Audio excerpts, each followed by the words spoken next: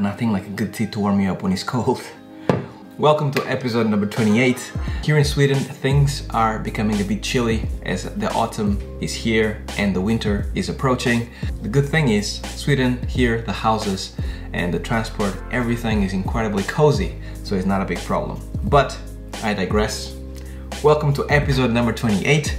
In this episode, we are going to be discussing planning your shots and how much in depth you have to go when planning your shots. So, without further ado, let's get started with this episode number 28.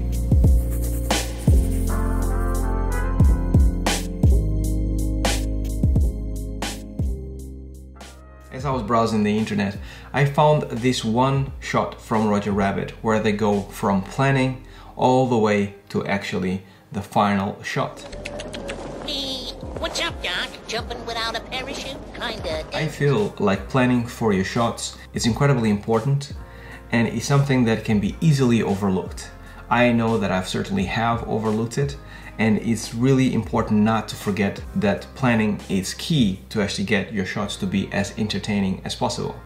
Uh, the reason why the shot from Roger Rabbit was so interesting. It's because in this movie, Richard Williams had to mix both real elements with 2D animation. He not only had to plan what the animation was doing, he also had to plan how the animation was going to go within the live action.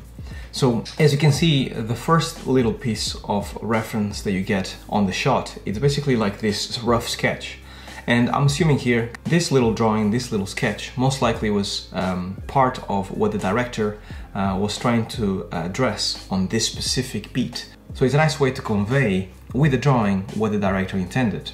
The next little piece of uh, art that you get, so you can see already in this other vignette that is Mickey and Bugs Bunny trying to help him out.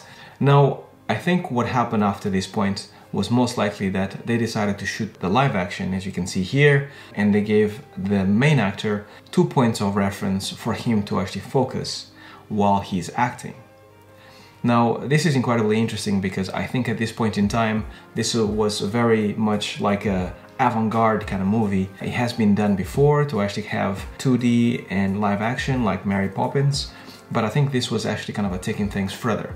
So you can see that the actor has a harness and it has cables and then it has only like two poles to kind of signify where Mickey and Bugs Bunny are going to be placed in the animation.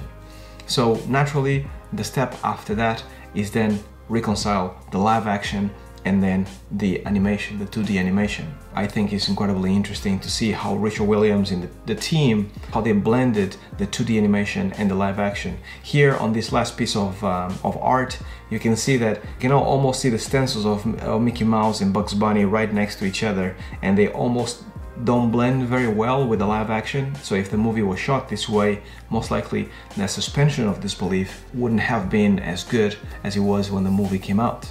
So in the final piece, which I'll showcase next, you'll see that actually the whole scene blends together perfectly and is incredibly smooth, especially for the time that the movie came out. And it's really, really entertaining. Let's watch it.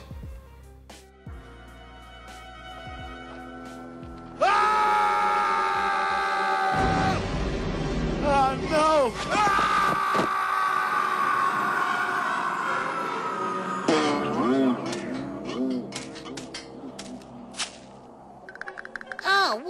Look, pitties. Hi, Tweety. This widow pitty went to market. This widow pitty stayed home. No. This widow pitty had roast beef. And this widow pitty had... Uh-oh, ran out of pitties.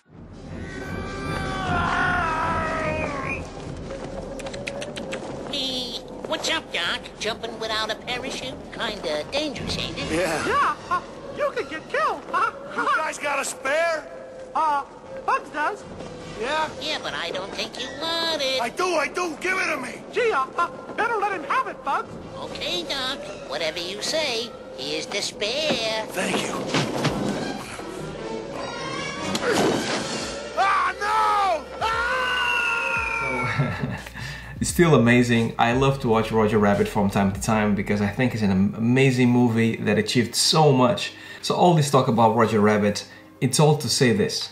Whenever you actually want to plan your shots, doesn't matter if it's a small one shot that is 100 frames or if it's actually like a short film or a feature film, make sure you go in with as much detail as possible. Also, throw that stuff in into Final Cut or Premiere and put it together in a sequential manner so you can have a feel for the tempo and how do you feel about your story when you visualize it with just single drawings spaced out at different lengths because that will actually give you a very different feeling of what you have in your head before you go into animation, into Maya, into 3D, because that gets really involved.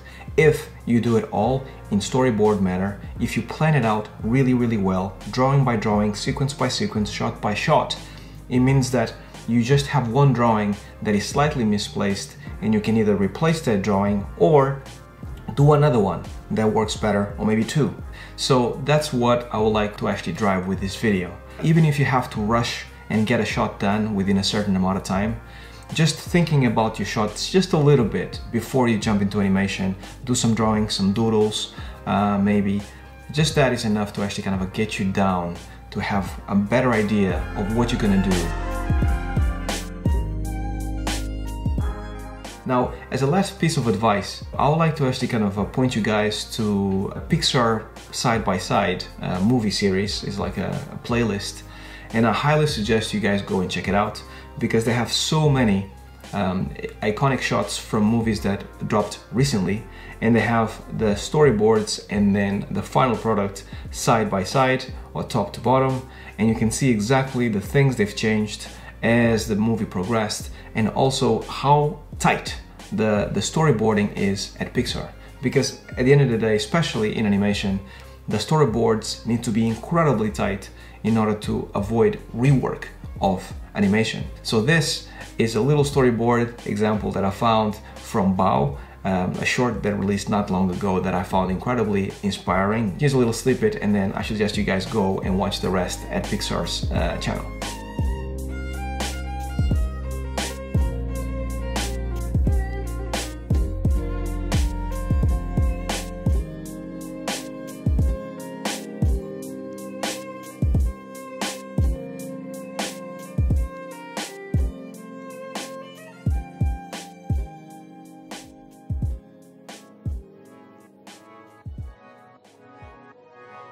I hope you guys enjoyed it. Once again, I'm actually focusing on making sure that these videos are small. Also, just a reminder, um, I have opened up a shop where I sell these hats here and also stickers. So if you guys are interested, please head over to the shop. I leave a link in the video and also down at the bottom. Also, on last week's video, I actually uh, had an interview with John and we talked a little bit about the behind the scenes of a Studio Ghibli movie and uh, how inspiring that is. So please let me know down below in the comments what were the animation movies that had the best behind the scenes according to you because I love to know about other people's movies, maybe something that I haven't watched before, something that I should check out and I haven't so far. So please do let me know what are your favorite movies.